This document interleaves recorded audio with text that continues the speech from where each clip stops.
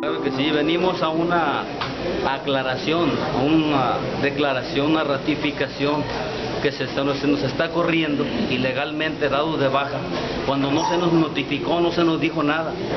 Y en verdad nosotros estamos indisgustos, la impotencia, la ira nos gana, porque no se nos ha notificado nada, no nos dijo nada, el cual, ¿por qué estamos dados? Cuando hay compañeros que ni siquiera hicieron su examen, no tienen faltas administrativas, no tienen reportes, no tienen nada y aún así están dados de baja.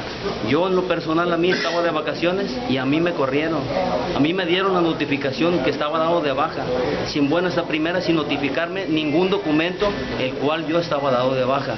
Necesito saber únicamente que se me diga a mí, que se me demuestre con hechos, con papeles, que me digan que yo estoy dado de baja. Y no nomás somos uno, somos varios, 54, 54. elementos. ¿Y todos les, hicieron el debido procedimiento? Ninguno, a nadie, todos por igual lo mismo. ¿Quién los notificó de su despido? A uno los hizo por teléfono eh, el jefe inmediato que tenemos en el departamento, llámese policía o llámese tránsito. Y se iban a notificar y se iban a dar pruebas supuestamente. Nosotros venimos públicamente a escuchar qué es lo que era, cómo se estaba procediendo, cuál era el procedimiento, únicamente para saber. Nosotros estamos amparados, entonces nosotros queremos saber que se nos notifique realmente cómo está. Ahora, hay otra cosa. El director, principalmente, el juez por su casa empieza. Queremos saber de él cómo está cuando él viene de otro lado.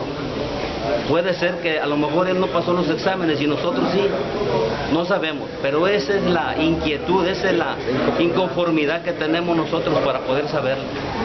Nosotros venimos a la reunión para saber de nuestra situación, para el tiempo que nos dieron, pues mejor se retiraron.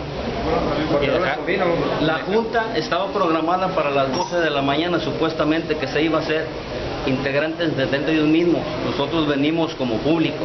Al llegar nosotros aquí ellos estaban adentro planeando, qué sé yo, su reunión. Al vernos a nosotros, se fueron destilados sin disculparse, sin decirse, ahí nos vemos, se pospone la junta para otro día, no se dijo nada. Se fueron y aquí dejaron hasta lo de Coparmex y lo de otras instituciones, dejaron plantados ahí sin avisarles ni decirles nada. Entonces, no es justo, la verdad. Nos duele bastante porque de verdad lo único que queremos es que se nos compruebe y que se nos diga. A unos se les hizo el examen hace ya mucho tiempo atrás, a otros no los hicieron, otros no hicieron nada. Entonces van todos revueltos. ¿Cómo sabemos los resultados que no se nos están dando?